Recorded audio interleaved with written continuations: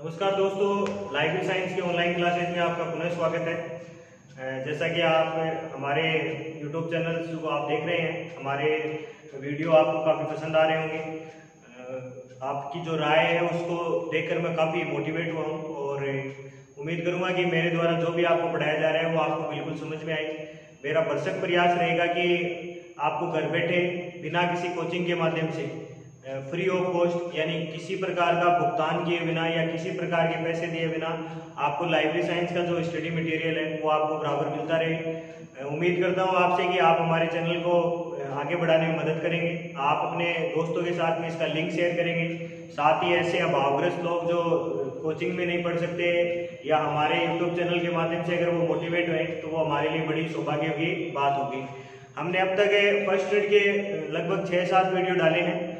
और सब में जो भी कमेंट्स जो आए हैं, उन कमेंट्स को पढ़ने के बाद में लगा कि मेरा ये जो छोटा सा प्रयास जो है, वो एक नया रूप लाएगा, एक नया रंग लाएगा और उस नए रंग को अपन आगे बढ़ाते हुए आज फ़र्स्ट यूनिट का एक नया टॉपिक लेकर आपके सामने फिर हाजिर है।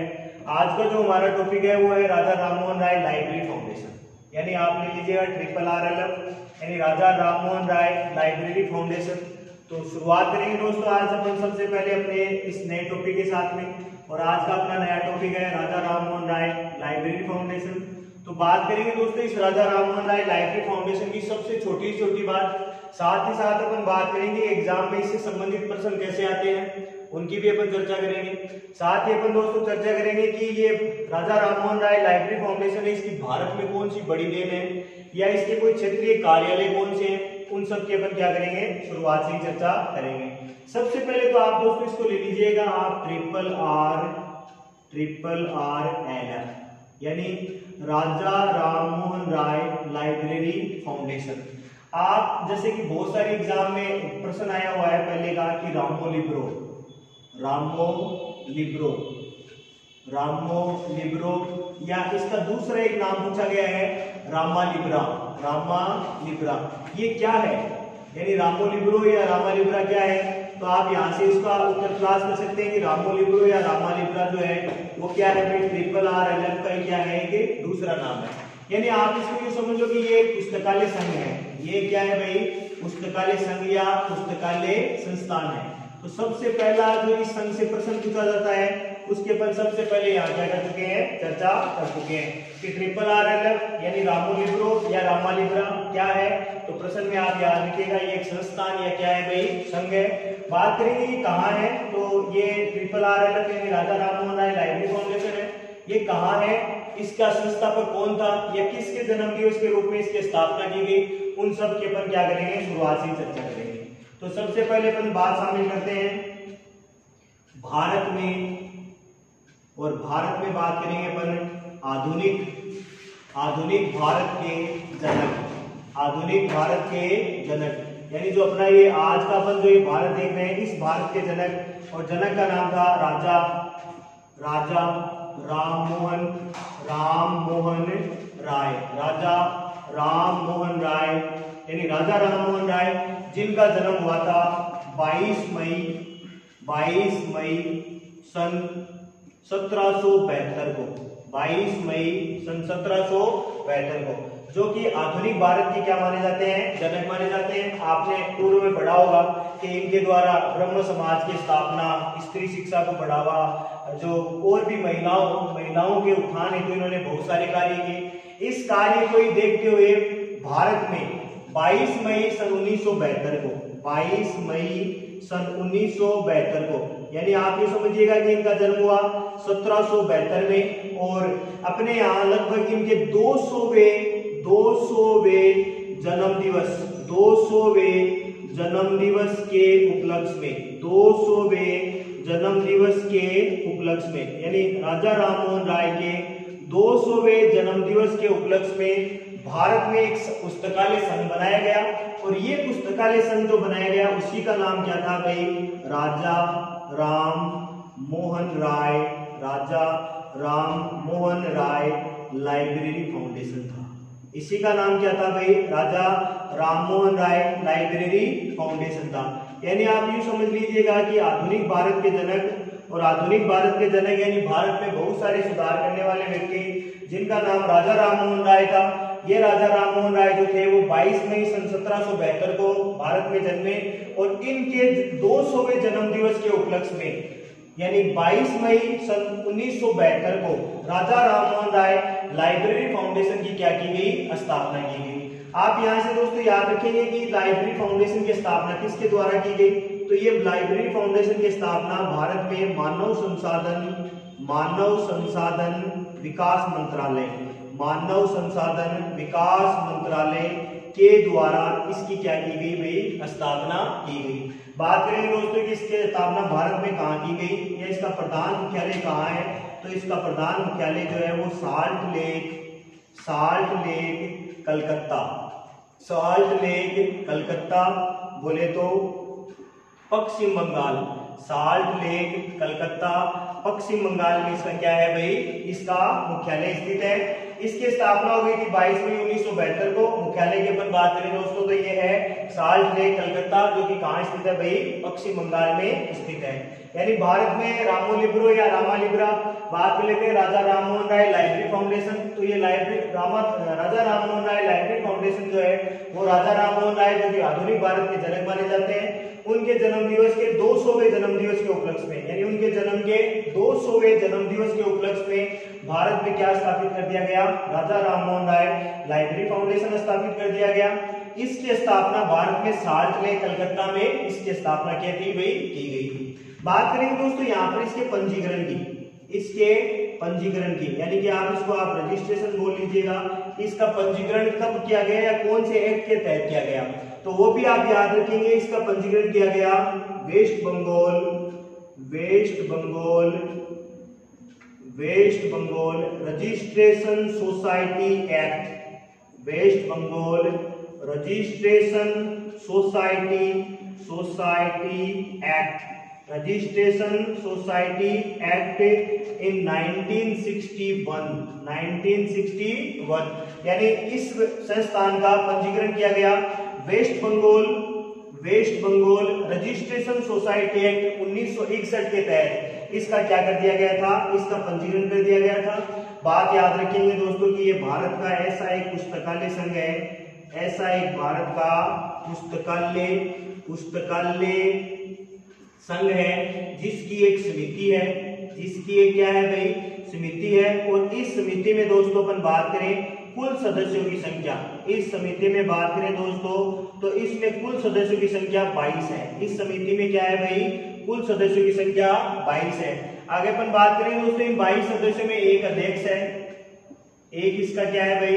अध्यक्ष है। ऐसे इसमें एक फ़ील्ड अधिकारी है, एक लेखा अधिकारी है। एक क्षेत्र अधिकारी जिसको फ़ील्ड ऑफिसर के नाम से जाना जाता है। अनेक क्या है इस संघ में, इस जो पदाधिकारी है वो क्या है भाई, नियुक्त है। यानी बात कर लेंगे कि west Bengal registration society act उन्नीस के तहत इसका क्या किया गया, पंजीकरण किया गया है। यह एक भारतीय पुस्तकालय, एक ऐसा भारतीय पुस्तकालय संघ है जिसकी समिति में कुल कितने सदस्य हैं भाई? कुल बाईस सदस्य हैं। बात करें जिनमें एक अध्यक्ष है, एक लेखा अधिकारी और एक फ़ील्ड अधिकारी है। बात करें दोस्तों, इस संघ का प्रथम अध्यक्ष। इस संघ का प्रथम अध्यक्ष। यानी इस पुस्तकालय संघ का प्रथम अध्यक्ष कौन था? तो आप याद रखिएगा दोस्तों कि इस संघ का प्रथम अध्यक्ष जो था, वो था doctor DP Barua. Doctor DP Barua. Doctor DP Barua. आप यहाँ डीपी बरुआ के बारे में भी खास बात पूछेगा वो याद रखेंगे कि डीपी बरुआ जो है दोस्तों, वो भारत में, आप यू समझिएगा कि सबसे पहले भारत में पुस्तकालय के क्षेत्र में पुस्तकालय के क्षेत्र में राष्ट्रीय राष्ट्रीय पुस्तकालय नीति, राष्ट्रीय पुस्तकालय नीति को तैयार करने वाला, राष्ट्रीय पुस्तकालय नीति को तैयार करने वाला व्यक्ति, तैयार करने वाला व्यक्ति या पुस्तकालय वैज्ञानिक अगर कोई था तो वो कौन था भाई? प्रोफेसर डॉक्टर डीपी बरुआई था। यानी आप जो समझो कि भारत में नेपलिस को किसी ने बढ़ावा दिया या नेपलिस को बढ़ाने में योगदान अगर किसी आदमी ने दिया तो वो कौन था भाई? डॉक्टर डीपी बरुआ ही था। बात करेंगे दोस्तों आगे अपन राजा राममोहन राय लाइब्रेरी फाउंडेशन की, इसका प्रधान कार्यालय। इसका जो प्रधान मुख्यालय है, यानी इसका जो हेडक्वार्टर है, इसका मुख्य कार्यालय या मुख्यालय जो है, वो इसका साल्ट लेक कलकत्ता में है। साल्ट लेक कलकत्ता में, लेकिन साथ ही इसके चार क्षेत्रीय कार्यालय है। यानी इसका प्रधान मुख्यालय तो कहाँ है भाई? साल्ट लेक कलकत्ता में है, लेकिन इसके चार क्या है? चार इसके क्षेत्रीय कार्यालय है। बात करेंगे दोस्तों इसके चार क्षेत्रीय कार्यालयों की इसके चार क्षेत्रीय कार्यालय जो है, वो भारत में किन किन क्षेत्रों में स्थित है, उनके अपन बात करेंगे। जैसा कि बहुत सारे एग्ज़ाम में दोस्तों प्रश्न पूछा गया है कि ये जो राजा राममोहन राय लाइब्रेरी फाउंडेशन है, वो किस प्रकार के पुस्तकालयों के विकास हेतु प्रतिबद्ध है? तो आप सबसे पहला एक ही नाम यहाँ से आप याद रखेंगे, वो है सार्वजनिक पुस्तकालय। वो क्या है भाई? सार्वजनिक पुस्तकालय। आप यहाँ सार्वजनिक के साथ में अगर कोई दूसरा नाम आप जोड़ना चाहें तो आप वो उसमें जोड़ सकते हैं ग्रामीण पुस्तकालय का। दूसरा आप नाम जोड़ सकते हैं किसका भाई? ग्रामीण पुस्तकालय का। यानी भारत में सार्वजनिक पुस्तकालय और ग्रामीण पुस्तकालयों का विकास करने में अगर कोई महत्वपूर्ण भूमिका निभाता है तो वो ट्रिपल आर एल एफ़ यानी राजा राममोहन राय लाइब्रेरी फाउंडेशन ही क्या करता है? महत्वपूर्ण भूमिका निभाता है। बात करेंगे दोस्तों, इसका प्रधान मुख्यालय यानी इसका प्रधान कार्यालय जो है वो तो यहाँ साठ लेक कलकत्ता में स्थित है, परंतु साथ ही इसके चार क्षेत्रीय कार्यालय हैं। इसके चार क्षेत्रीय कार्यालय हैं और चार क्षेत्रीय कार्यालय की बात करें तो एक इसका क्षेत्रीय कार्यालय उत्तर में, बात करें दूसरा दोस्तों तो वो है दक्षिण में। इसके तीसरे क्षेत्रीय कार्यालय की बात करें दोस्तों तो वो है पूर्वोत्तर में पूर्वोत्तर में। और बात करें दोस्तों, इसका अंतिम जो मुख्यालय की बात करें तो वो है पश्चिम में। वो कहाँ है भाई? पश्चिम में। तो यहाँ भी अपन शामिल कर लेते हैं कि उत्तर में इसका जो मुख्यालय है, वो है नई दिल्ली में। उत्तर में इसका जो मुख्यालय वो है कहाँ पर भाई? नई दिल्ली में। साथ ही बात करेंगे दोस्तों, दक्षिण दक्षिण में तो दक्षिण में अपन बात करेंगे इसका मुख्यालय जो है, यानी इसका क्षेत्रीय कार्यालय जो है, वो कहाँ पर है भाई? चेन्नई में है। यानी सबसे पहले इसका क्षेत्रीय कार्यालय नई दिल्ली में, उसके बाद में इसका क्षेत्रीय कार्यालय कहाँ भाई? चेन्नई में। इसके बाद में तीसरा अपन बात करें दोस्तों, इसका पूर्वोत्तर भारत और पूर्वोत्तर भारत में, जैसा कि अपन पहले बात किए हैं कि सेवन सिस्टर्स यानी भारत के सात बहन राज्य और सात बहन राज्यों में इसका जो मुख्यालय वो है गुवाहाटी। गुवाहाटी, असम। गुवाहाटी, असम में इसका क्या है भाई? इसका मुख्यालय है। यानी सबसे पहले उत्तर में इसका नई दिल्ली में दक्षिण में चेन्नई में, पूर्वोत्तर में बात करें तो गुवाहाटी और पश्चिम में दोस्तों इसकी बात करें, इसके मुख्यालय की तो वो स्थित है कहाँ भाई? मुंबई में। कहाँ स्थित है? मुंबई में। यानी चार क्षेत्रीय कार्यालय हैं, प्रधान कार्यालय इसका साल्ट लेक कलकत्ता में। क्षेत्रीय कार्यालय की बात करें तो उत्तर में नई दिल्ली, दक्षिण में बात करें दोस्तों तो चेन्नई, पूर्वोत्तर में बात करें तो गुवाहाटी और पश्चिम में बात करें दोस्तों तो वो क्या है भाई? मुंबई में है। यानी ट्रिपल आर के चार क्षेत्रीय कार्यालय और चार क्षेत्रीय कार्यालयों को अपन ने क्या कर दिया है? विवरित कर दिया है। एक बार मैं इस पूरे का जो विवरण है वो प्रस्तुत कर देता हूँ। आप इसका स्क्रीनशॉट ले लीजिएगा कि ट्रिपल आर एल यानी रामोलिब्रो यानी रामालिब्रा या रामोलिब्रो क्या है? जैसा कि पहले एग्ज़ाम में प्रश्न आया हुआ है तो वो एक संघ है, यानी संस्थान है। बात करते हैं कि इसकी स्थापना किसकी, याद में की गई या कब की गई? तो वो अपन याद रखेंगे कि राजा राममोहन राय, जो कि आधुनिक भारत के जनक कहे जाते हैं, उनके, उनका जन्म हुआ था 22 मई सत्रह सौ बहत्तर को। और उनके जन्म के 200वें जन्म दिवस के उपलक्ष्य में भारत सरकार के द्वारा 22 मई उन्नीस को राजा राममोहन राय लाइब्रेरी फाउंडेशन की स्थापना की गई। इसका प्रधान कार्यालय या मुख्यालय जो है वो साल्ट लेक कलकत्ता, पश्चिम बंगाल में स्थित है। इसका जो पंजीकरण की जहाँ दोस्तों अपन बात करें तो इसका पंजीकरण है west Bengal registration society act 1961 में इसका क्या किया गया? पंजीकरण किया गया। यह एक ऐसी पुस्तकालय समिति है जिसमें कुल सदस्य की संख्या क्या है? बाईस है। जिनमें एक अध्यक्ष है लेखाधिकारी सचिव और एक क्या है भाई? फ़ील्ड अधिकारी। इसमें क्या हो सकते हैं? नियुक्त हो सकते हैं। साथ ही दोस्तों, बात करेंगे इसके प्रथम अध्यक्ष की। तो इसके प्रथम अध्यक्ष जो थे, वो डॉक्टर डीपी बरुआ है। साथ ही बात करेंगे दोस्तों की डॉक्टर डीपी बरुआ जो है, वो राष्ट्रीय पुस्तकालय नीति को तैयार करने वाला पहला व्यक्ति था। यानी भारत में जहाँ भी नेपलिस की बात आए, वो नेपलिस को गठित करने वाला या लागू करवाने वाला व्यक्ति। या नेपलिस का प्रारूप या ड्राफ्ट बनाने वाला व्यक्ति जो था, वो डॉक्टर डीपी बरवाई था।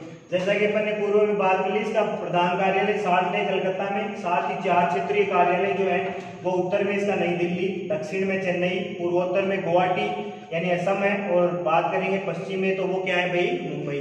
यहाँ से आप इसके साथ में एक और याद रख सकते हैं दोस्तों कि इसका वर्तमान अध्यक्ष, इस संघ का वर्तमान अध्यक्ष, यानी वर्तमान अध्यक्ष की भी अपन बात कर लेते हैं यहीं पर, इस संघ का वर्तमान अध्यक्ष कौन है? तो इस संघ का वर्तमान अध्यक्ष अपन यहाँ से शामिल कर लेते हैं कि इस संघ का वर्तमान अध्यक्ष वर्तमान अध्यक्ष जो है दोस्तों, इस ट्रिपल आर एल एम के वो है professor professor Brij Kishore Brij Kishore Sharma. Professor Brajkishore Sharma क्या है? इस पुस्तकालय संघ के वर्तमान अध्यक्ष हैं। आप इसका स्क्रीनशॉट लीजिए। इसके बाद मैं इसको मिटाता हूँ इसके अपन बात करेंगे दोस्तों की ये राजा राममोहन राय लाइब्रेरी फाउंडेशन है। इसमें भारत में महत्वपूर्ण भूमिका क्या है? साथ ही अपन बात करेंगे दोस्तों की भारत में महत्वपूर्ण भूमिका के साथ साथ इसके प्रकाशन कौन से हैं? प्रकाशन के साथ में अपन बात करेंगे इसके कौन से ऐसे उद्देश्य हैं जो इसको भारत में पुस्तकालय संघों में क्या करता है? अग्रणीय पुस्तकालय संघों की श्रेणी में खड़ा करता है। तो अपन इसका आप स्क्रीनशॉट लीजिए। मैं इसको मिटाता हूँ, दोबारा अपन शुरू करते हैं।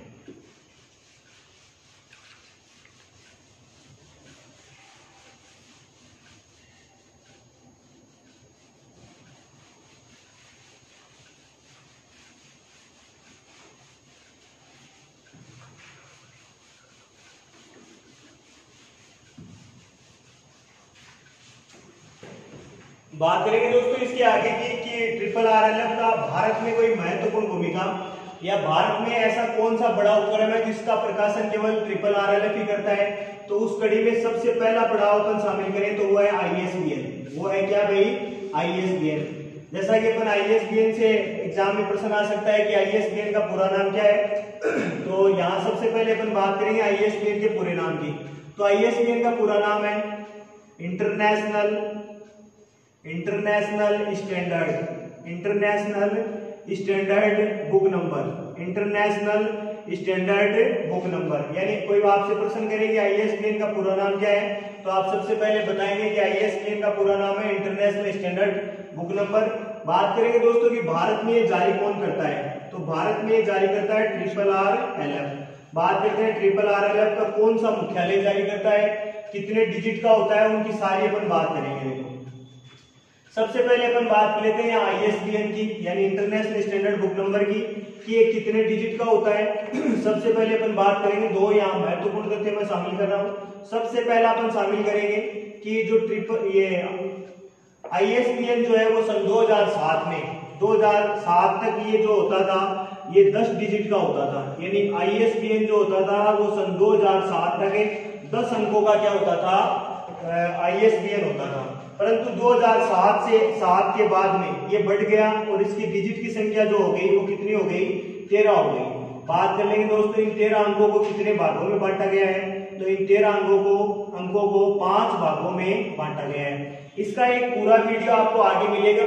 जब मैं आपको आईएसबीएन के बारे में जानकारी दूँगा कि इस आईएसबीएन को सबसे पहले निर्मित किसके द्वारा किया गया यानी निर्मित करने वाला व्यक्ति कौन था? साथ ही इस आईएसबीएन का फादर यानी फादर ऑफ़ आईएसबीएन किसे कहा जाता है? तो अपन छोटी सी चर्चा यहाँ चलते चलते कर लेते हैं कि आईएसबीएन को निर्मित करने वाला व्यक्ति है इसको सबसे पहले काम में लेने वाला व्यक्ति जो था वो गोल्डन फोस्टर था। लेकिन बाद में इसका बहुतायत प्रयोग करने वाला व्यक्ति डेविड बिटकर है। इसीलिए डेविड बिटकर को ही क्या कहा जाता है? फादर ऑफ़ आईएसबीएन कहा जाता है। अपन यहाँ पर ट्रिपल आर एल एफ़ की चर्चा कर रहे हैं तो साथ में अपन ट्रिपल आर एल एफ़ को थोड़ा सा और शामिल कर लेते हैं। इसका पूरा वीडियो आपको आगे कक्षाओं में मिल जाएगा। बात करते हैं आईएसबीएन और आईएसबीएन में ट्रिपल आर एल एफ़ यानी भारत में आईएसबीएन प्रदान करने का काम कौन करता था? ट्रिपल आर एल एफ़ करता था। यहाँ से अपन दोस्तों एक चीज़ याद रखेंगे, जो कि केबीएस एग्ज़ाम 2018 में पूछी गई। केबीएस एग्ज़ाम 2018 में पूछी गई। कि भारत में आईएसबीएन प्रदान करने वाला मुख्यालय सन 2011 से कहा स्थित है तो उसका विवरण भी अपन यहाँ क्या रखेंगे? याद रखेंगे।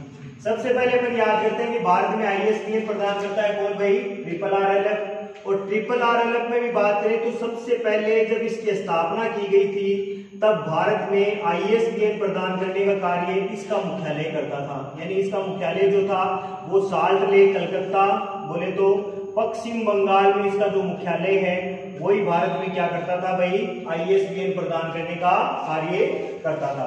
परंतु सन 2011 में इसमें क्या किया गया? परिवर्तन किया गया। इसमें क्या किया गया भाई? परिवर्तन किया गया।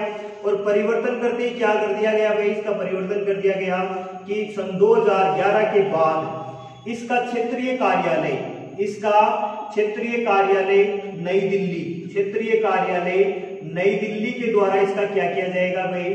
नई दिल्ली के द्वारा इसका आईएसबीएन यानी इंटरनेशनल स्टैंडर्ड बुक नंबर का क्या किया जाएगा? प्रकाशन किया जाएगा।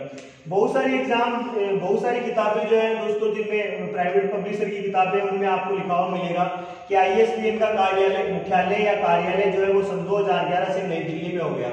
या आईएसबीएन का मुख्यालय जो है वो कलकत्ता से स्थानांतरित कब हुआ? क्योंकि उनको भाषा का ज्ञान नहीं रहेगा। तो अपने को याद रखना है कि आर आर एल एफ़ जो है, यानी ट्रिपल आर एल एफ़ जो है, इसका मुख्यालय तो कहाँ है भाई? कलकत्ता साल्ट लेक में स्थित है। परंतु अपने को बात यहाँ से अगर कोई प्रश्न कर ले कि भारत में ट्रिपल आर एल एफ़ के द्वारा जो आईएसबीएन प्रदान किया जाता था, जिसका पूरा नाम इंटरनेशनल स्टैंडर्ड बुक नंबर था, वो इसके कौन से क्षेत्रीय कार्यालय के द्वारा वर्तमान में प्रकाशित किया जाता है? तो क्षेत्रीय कार्यालय की जहाँ भी बात करें दोस्तों तो वहाँ पर आप याद रखेंगे, सन 2011 से इसका क्षेत्रीय कार्यालय नई दिल्ली और क्षेत्रीय कार्यालय नई दिल्ली के द्वारा इसका क्या किया जाता है? आईएसबीएन का प्रकाशन किया जाता है। जैसा कि आईएसबीएन के बारे में अपन चर्चा कर लेंगे कि इसका, इसको निर्मित करने वाला व्यक्ति सबसे पहले बात करें तो वो गोल्डन फोस्टर था।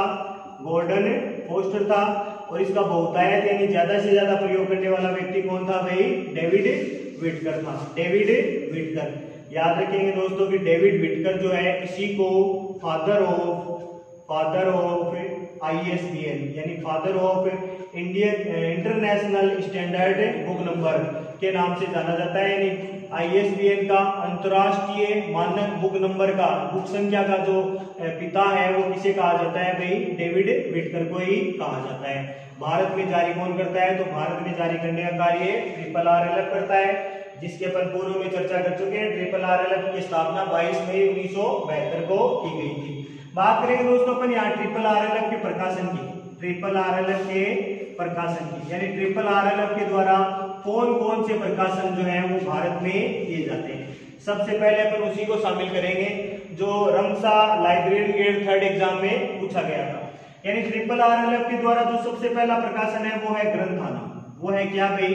ग्रंथाना। आप याद रख सकते हैं, ग्रंथाना जो ये ग्रंथाना जो है, Rajasthan librarian grade third exam librarian grade third exam 2016 में प्रश्न पूछा गया था कि ग्रंथाना का प्रकाशन कौन करता है? तो ग्रंथाना का प्रकाशन कौन करता है भाई? ट्रिपल आर एल करता है। बात करेंगे इसका दूसरा प्रकाशन दोस्तों। तो इसका दूसरा प्रकाशन है टेगोर टेगोर बिब्लियोग्राफी टेगोर बिब्लियोग्राफी टेगोर वांग्मय सूची का प्रकाशन भी कौन करता है भाई? ट्रिपल आर एल एफ़ करता है। बात करेंगे दोस्तों इसके आगे की इसके आगे और कौन सा प्रकाशन ट्रिपल आर एल एफ़ करता है? तो ट्रिपल आर एल एफ़ जो है, वो triple R L F newsletters का भी क्या करता है? प्रकाशन करता है। Triple R L F newsletters का भी क्या करता है? ये प्रकाशन करता है। साथ ही और की बात करें दोस्तों तो ट्रिपल आर एल एफ़ जो है, वो ट्रिपल आर एल एफ़ जो है वो लाइब्रेरीज के लिए एक एनुअल रिपोर्ट एक एनुअल रिपोर्ट का भी क्या करता है? एनुअल रिपोर्ट का भी क्या करता है भाई? प्रकाशन करता है। साथ ही दोस्तों, एक और बात करेंगे जो इसका विशिष्ट प्रकाशन है, ये भारत में डायरेक्टरीज भारत में डायरेक्ट्रीज का क्या करता है? डायरेक्ट्रीज का प्रकाशन करता है। Directories of directories of public library directories of public library public library in India in India का प्रकाशन भी कौन करता है भाई? भारत में ट्रिपल आर एल करता है। जैसा कि अपन यहाँ चर्चा कर चुके हैं कि ट्रिपल आर एल जो है वो भारत में सार्वजनिक पुस्तकालय के क्या करता है भाई? विकास में प्रयास करता है। साथ ही साथ ये ग्रामीण पुस्तकालय के विकास में भी क्या करता है भाई? महत्वपूर्ण भूमिका निभाता है। यानी ग्रामीण पुस्तकालय के विकास में भी क्या करता है? महत्वपूर्ण भूमिका निभाता है। यहाँ से अपन दोस्तों एक दो छोटी छोटी और बातें यहाँ शामिल कर लेते हैं ट्रिपल आर एल एफ़ में। कि ट्रिपल आर एल एफ़ के द्वारा ये क्या करता है देखो। ट्रिपल आर एल एफ़ जो है, वो नेहरू युवा केंद्रों के माध्यम से। नेहरू नेहरू युवा, नेहरू युवा केंद्रों के माध्यम से, नेहरू युवा केंद्रों के माध्यम से पुस्तकालयों की सेवा को क्या करना चाहता है भाई? बढ़ाना चाहता है। साथ ही अपन दोस्तों यहाँ बात करेंगे और इसके उद्देश्यों की तो उद्देश्यों में सबसे पहला इसका उद्देश्य तो अपन बात कर चुके हैं कि ये सार्वजनिक और ग्रामीण पुस्तकालयों के विकास को क्या कर देता है? बढ़ावा देता है। साथ ही साथ नेहरू युवा केंद्रों के माध्यम से ये पुस्तकालय सेवा को बढ़ावा देने का काम करता है। इसके अलावा और अपन दोस्तों बात करें तो ये भारत में राष्ट्रीय पुस्तकालय राष्ट्रीय पुस्तकालय के साथ साथ पुस्तकालय अधिनियम को लागू करने, साथ ही पुस्तकालय सेवाओं को ग्रामीण क्षेत्रों तक बढ़ावा देने का कार्य भी कौन करता है? ट्रिपल आर अलग करता है। आज तक यहाँ से एग्ज़ाम में दोस्तों जो ट्रिपल आर एल का जो प्रश्न आ रहा है मोस्टली वो प्रश्न आ रहा है कि राजा राम मोहन राय किस प्रकार के पुस्तकालय के विकास हेतु तो प्रतिबद्ध है? तो आप वहाँ से नाम याद रखेंगे, वो याद रख सकते हैं, सार्वजनिक पुस्तकालय। साथ ही आप आई का विशेष संदर्भ ले सकते हैं कि भारत में आई किसके द्वारा प्रदान किया जाता है तो वो भी किसके द्वारा भाई? ट्रिपल आर एल के द्वारा। एक बार पुनः मैं पूरे को रिपीट कर देता हूँ, कहीं आप भाषिक समस्या या त्रुटियाँ हो तो उनका आप थोड़ा सा ध्यान रखेंगे। कि सबसे पहले आईएसबीएन यानी इंटरनेशनल स्टैंडर्ड बुक नंबर काम में लेने वाला व्यक्ति गॉर्डन पोस्ट इसका पिता डेविड विटकर जिसका मैं पूरा वीडियो आपको आगे बताऊँगा। साथ ही जो सन 2007 तक 10 अंकों का था और 2007 के बाद में जो 13 अंकों का हो गया, जिसको पाँच भागों में बांटा गया है। बात करते हैं कि ट्रिपल आर एल का कौन सा मुख्यालय, यानी राजा राम मोहन राय लाइब्रेरी फाउंडेशन का कौन सा मुख्यालय, जो कि वर्तमान में क्या करता है, आईएसबीएन प्रदान करता है तो उसकी आप बात याद रखेंगे, क्षेत्रीय कार्यालय और क्षेत्रीय कार्यालय नई दिल्ली जो है वो सन 2011 से भारत में आईएसपीएन प्रदान करने का क्या कर रहा है? कार्य कर रहा है। सन 2011 से पूर्व ये कार्य जो था वो कलकत्ता, जो इसका मुख्यालय था सार्टले कलकत्ता उसके द्वारा प्रदान किया जा रहा था। साथ ही दोस्तों अपन बात कर लेंगे इसके प्रकाशन की। तो इसके प्रकाशन है ग्रंथाना, एक और bibliography triple R L F newsletters triple R L F annual report और directories of public library in India इन सब का प्रकाशन किसके द्वारा किया जाता है भाई? ट्रिपल आर एल एफ़ के द्वारा किया जाता है। साथ में प्रथम अध्यक्ष और प्रथम वर्तमान अध्यक्ष की अपन चर्चा कर चुके हैं। तो एक बार पुनः आप इन दोनों के बारे में याद रखेंगे। इसका प्रथम अध्यक्ष जो था वो doctor D P, doctor D P Barua बात कर लेते हैं इसके वर्तमान अध्यक्ष की। वर्तमान अध्यक्ष की तो इसका वर्तमान अध्यक्ष जो है वो आप शामिल कर लेंगे दोस्तों। वर्तमान अध्यक्ष जो वो है प्रोफेसर ब्रज किशोर ब्रज किशोर शर्मा ब्रज किशोर शर्मा। तो इन दोनों का रूप भी आप शामिल कर लेंगे। आप कोशिश कीजिएगा कि आप वीडियो को एक या दो बार देखें। एक या दो बार देखने के बाद में आपको पूरा वीडियो समझ में आ जाएगा। आप इसके साथ में कुछ और विशेष टिप्पणियाँ या नोट अगर हमें सजेस्ट करना चाहते हैं तो वो भी आप कृपया कमेंट बॉक्स में डाल सकते हैं। साथ ही हमारे वीडियो आपको कैसे लग रहे हैं वो भी बताएँ। हमारा चैनल अगर आपने अभी तक सब्सक्राइब नहीं किया तो आप कृपया हमारा चैनल सब्सक्राइब करें। साथ ही साथ इसका जो लिंक है, वो अधिक से अधिक लोगों के साथ में शेयर कीजिए। नेक्स्ट वीडियो में दोबारा मिलते हैं। जय हिंद।